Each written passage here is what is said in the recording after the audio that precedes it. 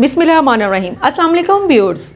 आज की वीडियो में मैं आपके साथ जनरल फ़िलासफ़ी के हवाले से बात करूँगी और आज की वीडियो में हम देखेंगे आइडियलिज़म किसे कहते हैं, इसका क्या कॉन्सेप्ट है, इस कॉन्सेप्ट को कौन कौन से ऐसे फ़िलासफ़र हैं जो कि मानते हैं और इस फ़िलासफ़ी की एजुकेशनल इम्प्लिकेशन क्या है, इस फ़िलासफ़ी के मुताबिक एजुकेशन के क्या एम्स हैं और क्या करिकुलम है और क्या मेथड ऑफ़ टीचिंग हो सकते हैं और आइडियलिज़म के मुताबिक एक टीचर का क्या रोल होता है और इसके साथ साथ स्टूडेंट का क्या रोल होगा। ये एक अहम कॉन्सेप्ट है और अगर आप पीपीएससी में एजुकेशन के लेक्चरर के लिए तैयारी कर रहे हैं या आप इन फ्यूचर हेड मिस्ट्रेस या हेड मास्टर के जॉब के लिए तैयारी करना चाहते हैं तो ये वीडियो आपके लिए बहुत ज़्यादा हेल्पफुल होगी।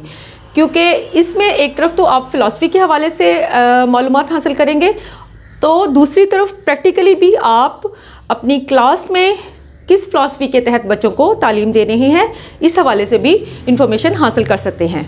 तो व्यूर्स आज की वीडियो मेरी बहुत अहम है और आप गौर से देखिएगा। आइडियलिज़म के कॉन्सेप्ट के हवाले से थोड़ी सी मैं मज़ीद आपको इन्फॉर्मेशन दूँगी। जब हम लफ्ज़ आइडियलिज़म की बात करें तो सबसे पहले हम ये देखते हैं कि ये लफ्ज़, किस लफ्ज़ से ड्राइव है। आइडियलिज़म जो है, ये ग्रीक वर्ड आइडियलिज्मॉन से ड्राइव है और आइडियलिज्मॉन जो लफ्स है वो लफ्स आइडिया से ड्राइव है। और आइडिया का क्या मतलब है? इसका मतलब है टू सी समथिंग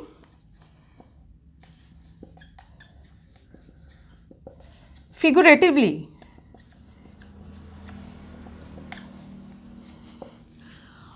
और आइडियलिज्म की फिलॉसफी जो है वो प्लूटो की फिलॉसफी ऑफ़ आइडिया से इसका जन्म हुआ है। और ये ओल्डेस्ट फ़िलासफ़ी है, यानी कि मॉडर्न फ़िलासफ़ी नहीं है, बल्कि ये एक पुरानी फ़िलासफ़ी है। ओल्डेस्ट फ़िलासफ़ी है।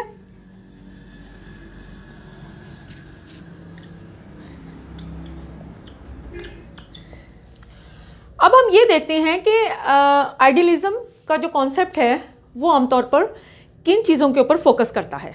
जब हम आइडियलिज्म की फ़िलासफ़ी को देखें तो ये एक मोनिस्टिक फ़िलासफ़ी है। मोनिस्टिक ये कॉन्सेप्ट है। अब मोनिस्टिक से क्या मुराद होता है? मोनिस्टिक से मुराद आमतौर पर ये होता है कि ये एक ऐसा कॉन्सेप्ट होता है जो कि सिर्फ़ एक ही बात के ऊपर या एक ही कॉन्सेप्ट के ऊपर फोकस करता है। अब आइडियलिज्म में वो कौन सा कॉन्सेप्ट है? वो कॉन्सेप्ट है स्पिरिचुअलिज्म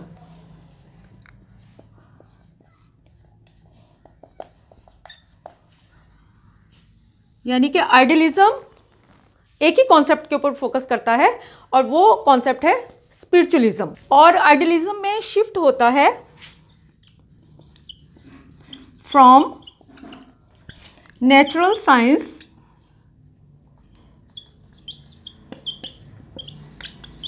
to the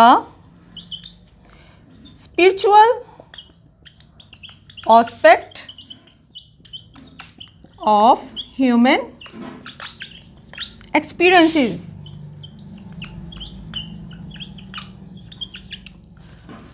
और इसके साथ साथ आइडियलिज्म में कहा जाता है कि knowledge acquired by the experiences of mind is more important than the knowledge acquired by senses.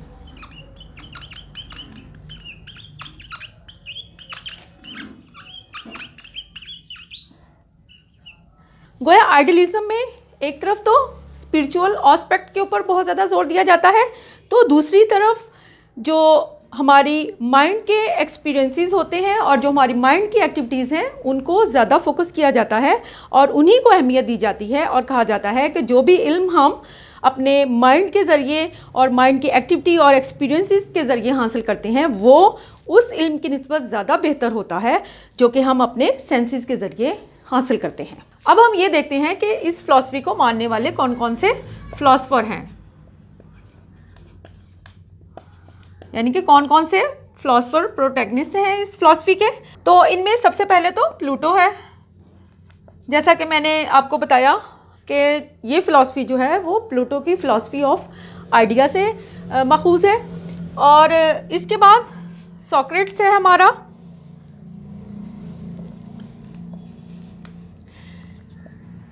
Berkeley है। फिच है।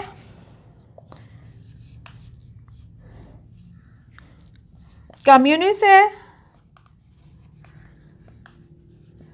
और इसके साथ साथ अगर हम मॉडर्न लोगों में से कुछ लोगों को देखें तो फ्रोबल है। पिसलूजी है हमारा।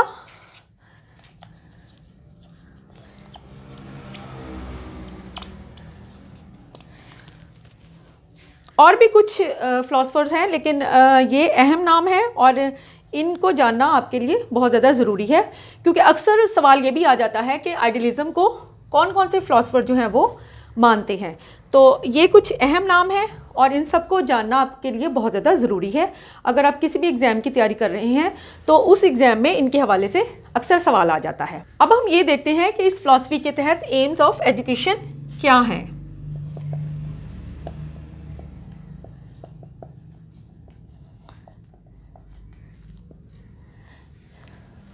इस फ़िलासफ़ी के तहत एजुकेशन का जो सबसे पहला एम है, वो है सेल्फ रियलाइजेशन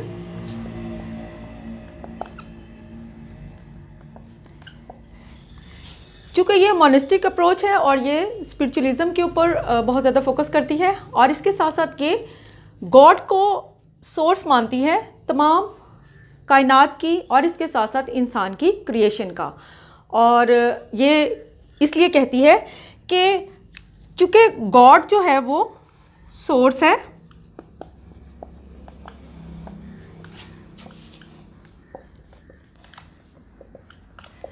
जिसमें कि हमारे जो कायनात है और इसके साथ साथ हमारे इंसान हैं, उन सब का जो सोर्स है वो गॉड है। और ये बहुत ज़्यादा ज़ोर देती है हमारी सेल्फ रियलाइजेशन के ऊपर। और इसके साथ साथ ये ह्यूमन पर्सनैलिटी के ऊपर बहुत ज़्यादा फोकस करती है।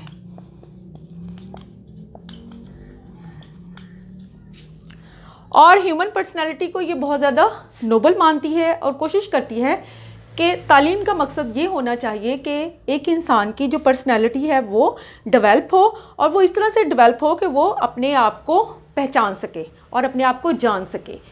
तो सेल्फ रियलाइजेशन जो है वो इसका बहुत ज़्यादा एक अहम कॉन्सेप्ट है। अब हम इस फ़िलासफ़ी के तहत जो दूसरा एम है, उसको डिस्कस करेंगे और वो है डेवलपमेंट ऑफ़ मॉरल वैल्यूज़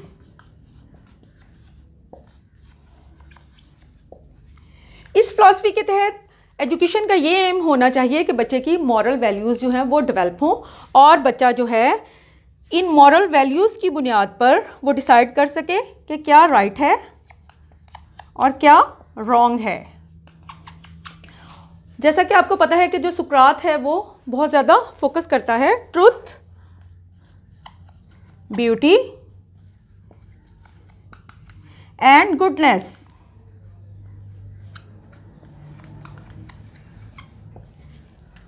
तो इस फ़िलासफ़ी में सुकरात के इन तीनों पॉइंट्स के ऊपर भी फोकस किया जाता है और ये कहा जाता है कि तालीम का मकसद ये होना चाहिए कि बच्चा जो है वो राइट और रॉन्ग में डिसाइड कर सके और इसके साथ साथ उसके अंदर ये तीनों क्वालिटीज़ पैदा हों। तो व्यूअर्स आज मैंने आपके साथ आइडियलिज़म के हवाले से कुछ अहम मालूम जो हैं वो शेयर की हैं। आइडियलिज़म के हवाले से ये मेरी वीडियो का पार्ट वन है। अब अगली वीडियो में जो आइडियलिज़म के हवाले से कुछ बाकी मालूम हैं वो मैं आपके साथ शेयर करूँगी। अगली वीडियो तक के लिए अल्लाह हाफिज़, शुक्रिया।